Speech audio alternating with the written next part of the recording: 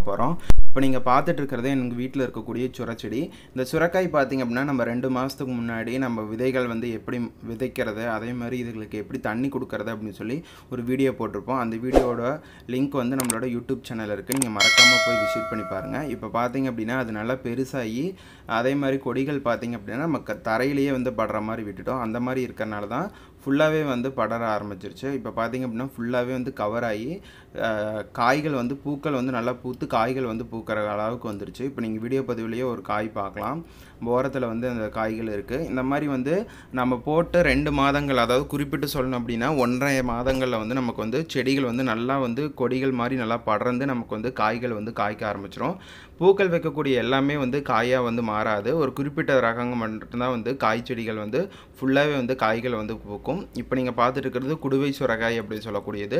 இது வந்து நாட்டு ரகத்தை சேர்ந்த ஒரு செடி. இதோட விதைகள் வந்து நம்மக்கிட்ட நிறைய அளவில் இருக்குது இப்போ பார்த்தீங்க அப்படின்னா இந்த சுரச்செடி வந்து ஃபுல்லாகவே வந்து பெருசாகும். நமக்கு வந்து ஒரு குடுவை அமைப்பில் வந்து நமக்கு இருக்கிற மாதிரி இருக்கும்.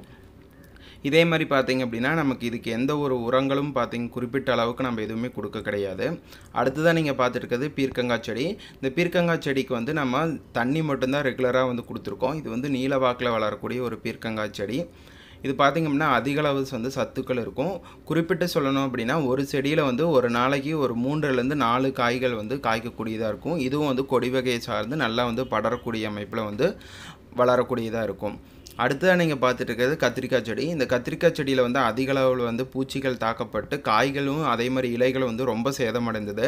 இதுக்கு வந்து நம்ம ஒரு ஒரு மருந்து வந்து தயாரித்து அந்த வந்து தெளித்தோம் அது வந்து சூப்பராக வந்து இப்போது இலைகள் வந்து ஓட்டை விழுகாமல் அதே மாதிரி வந்து காய்கள் வந்து சொத்தை இல்லாமல் வளர ஆரம்பிச்சிச்சு அதோட வீடியோவும் நம்மளோட யூடியூப் சேனலுக்கு மறக்காமல் விசிட் பண்ணி பாருங்கள் இதுதாங்க ஆடி மாதத்தில் நம்ம வந்து போட்ட விதைகள் வந்து இப்போ புரட்டாசி கடைசிக்கு வந்து ஈல்டாக நமக்கு கிடச்சிருக்கு. இதே மாதிரி நீங்களும் வந்து வீட்டில் என்ன மாதிரி செடி போட்டீங்க அப்படின்னு சொல்லி கமெண்ட் பாக்ஸில் கமெண்ட் பண்ணுங்கள்